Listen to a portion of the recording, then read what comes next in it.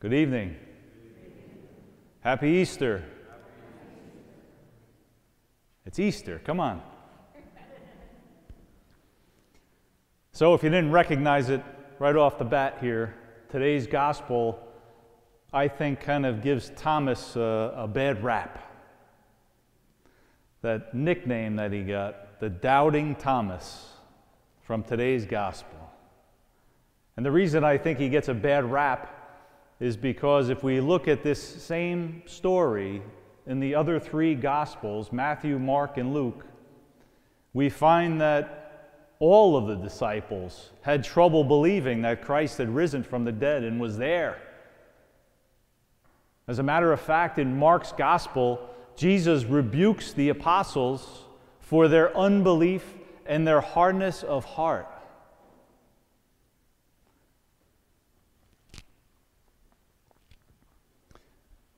But I think we can all relate to their trouble believing that their rabbi, their teacher, their leader, who had just been arrested, who had just been tortured, who had just been crucified and killed and buried, was now standing in front of them. Physically standing in front of them and interacting with them. Right? How many of us, when we hear some hard to believe news, we say, Yeah, I'll believe it when I see it? Right? I couldn't believe that Buster Douglas knocked out Mike Tyson, but I saw it and I believed it. Who would have thought that the Red Sox would have won a World Series? But we saw it. So we all sometimes need that encounter or that observation to help us believe. And so this is what the apostles were experiencing. And so I think today Thomas is just an example for us of how we can relate to that. For us to believe that Jesus Christ died and rose again. So Thomas, after he was commissioned with the other apostles, went out and spread the gospel into India and as far as China before he was ultimately martyred for his faith. And if we look at the first reading today from the Acts of the Apostles, a story which takes place later on from where we are in the upper room in the gospel message, there's a line there in today's reading where it says, With great power the apostles bore witness to the resurrected Christ with great power. This is what drove them to spread the gospel message that witness. Now, if we look at salvation history going all the way back to Abraham, we'll see that God has used ordinary people like you and I to bear witness, to carry his message to the people. Abraham, Noah, Moses. Moses encountered God on Mount Sinai, right? He Brought down the Ten Commandments. And we follow that through the Old Testament, all the way through all the prophets of the Old Testament, right up to John the Baptist. But personally, I find that the most powerful witnesses since the beginning of the church are the martyrs those who are willing to die for their faith willingly. That's powerful witness. Powerful witness. And would you believe that today, in our current day, there are more martyrs for our faith than there were in those first few centuries of the persecution of the early church? Now, you and I have the luxury today, after Mass this evening, we could stop at Starbucks, pick up a latte, go home, change into some comfortable clothes, and click on the TV and not think twice about it. But there are Christians right now who are trying to get out of Mass secretly and try to get home safely.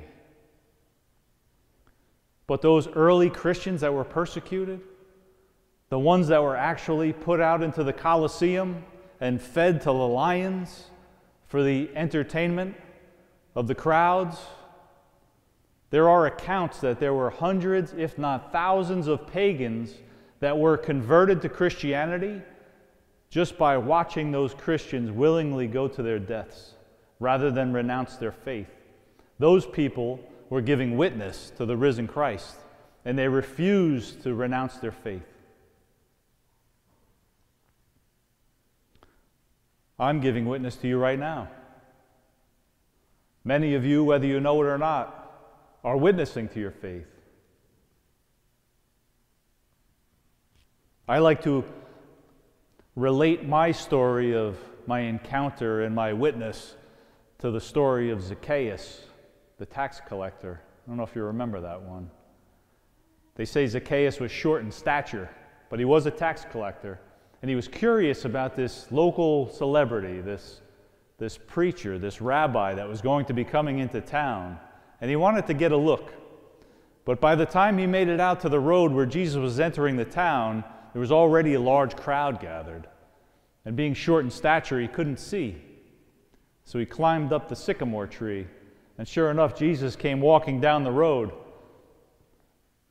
But instead of just getting a glimpse, Jesus looked up at Zacchaeus and said, Zacchaeus, come down from that tree. I'm going to have dinner at your house tonight. How's that for an encounter? In your face.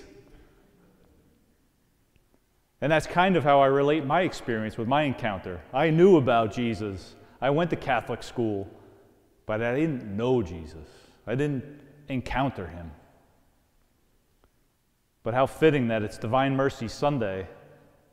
And you may have heard in some of my previous homilies that I really encountered him in the confessional, in the beautiful sacrament of reconciliation, experiencing that mercy. But that's available to all of us. That encounter is available to all of us.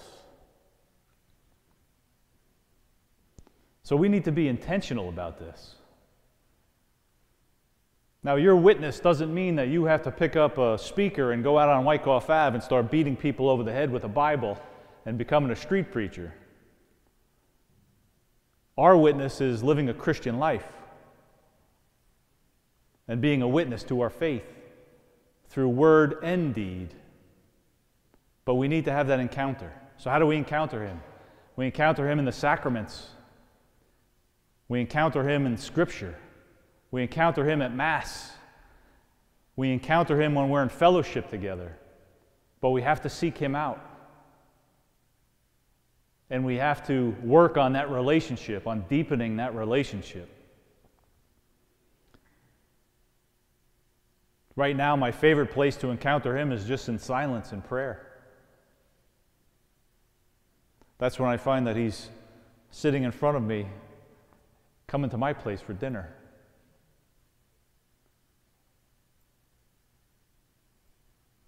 So, as we walk out of here tonight, Easter season. Let's keep in mind what the apostles and what Thomas were doing as they were witnessing to their faith.